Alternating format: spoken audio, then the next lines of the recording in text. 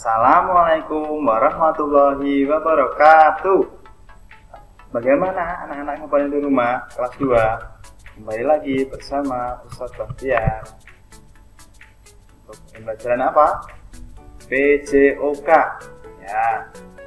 Eh, di rumah sehat kan?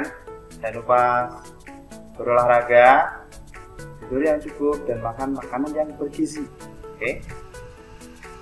Oke persiapan pembelajaran kali ini yang disiapkan pertama anak-anak duduk yang rapi ya duduk yang bagus.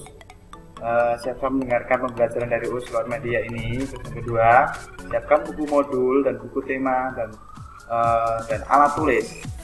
Terus yang ketiga dengarkan dan catat materi yang penting yang yang akan disampaikan terus di sini apabila tidak ada uh, di dalam buku modul.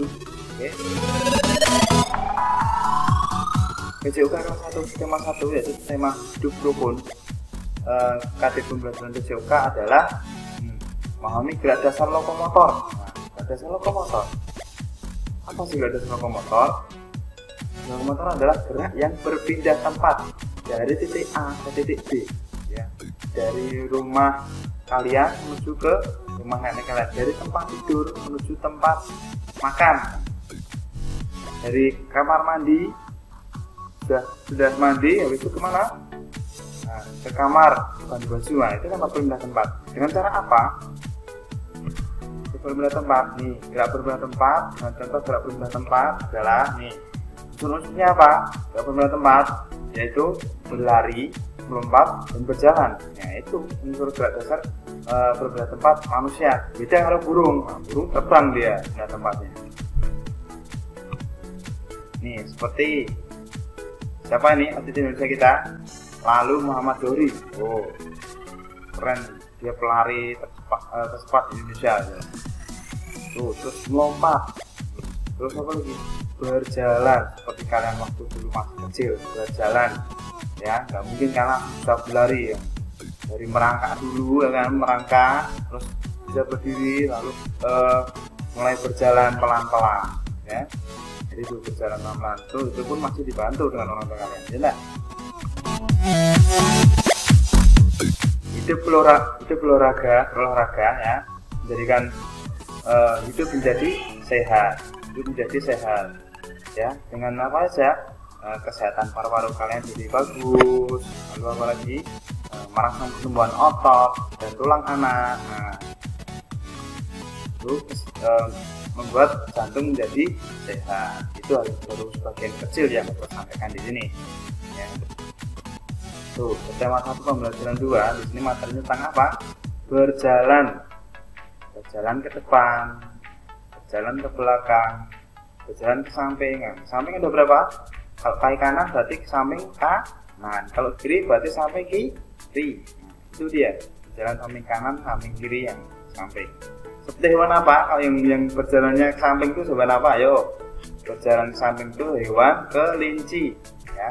Terus berjalan bersama dengan rapi. Dan dengan rapi itu seperti kalian apa? Kan mah lihat nggak?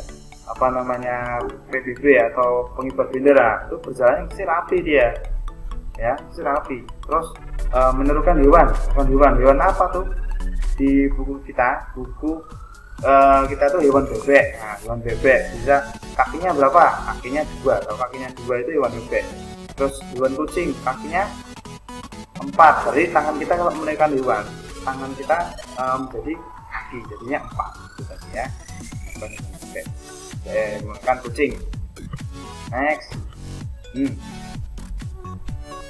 di pembelajaran 4 itu berjalan yang benar. Bagaimana sih sikap berjalan yang benar apakah tangan kanan kaki kanan juga kanan? Apakah kaki kiri kaki juga kiri? Apa itu benar? No itu salah. Bahasa Jawanya itu namanya bakomi gitu ya. Jadi tidak boleh itu, salah. Dan jangan sampai seperti itu ya. Sekarang kita uh, akan kasih tahu bagaimana belajar belajar berjalan yang benar ya. Yang beda juga uh, perlu tahu juga berjalan yang benar mumpung masih kecil. Dan sampai sikap berjalannya itu salah. Karena itu karena itu berjalan uh, belajar berjalan itu yang benar itu sebagai uh, supaya dasar anak itu gerakan gerakan yang benar dalam berjalan itu harus harus sesuai. Ya. nih lihat pada gambar yang Ustaz yang Ustaz uh, berikan di sini. Tangan depannya apa? Tangan kiri. Terus kaki depannya apa?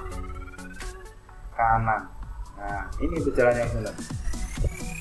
Ikat tangan dan kaki bersebelahan nggak bisa tangan kanan eh ya tangan kanan kaki kanan nah, itu yang salah harus bersebelahan tangan kiri berarti tangannya kakinya nah lalu badan sekarang badannya lurus no nih lurus ke latar garis bawah hmm nggak boleh bungkuk gini no nggak boleh nah itu ya terus matanya ke mana menghadap ke depan eh, ke depan ke depan nggak boleh menghadap ke atas bawah nanti kalau ke bawah nih sering. Jadi juga di, di rumah ayah bunda yang sering naik motor. Nah mungkin um, megang HP lihatnya ke bawah. Nanti bisa kebentur bisa ketabrak gitu ya. Tuh. Ini itu saja materi dari US dari subtema 1 kurang lebihnya mohon maaf. Bila ada kritik dan saran silahkan di komen di bawah. Uh, dari saya. Wassalamualaikum warahmatullahi wabarakatuh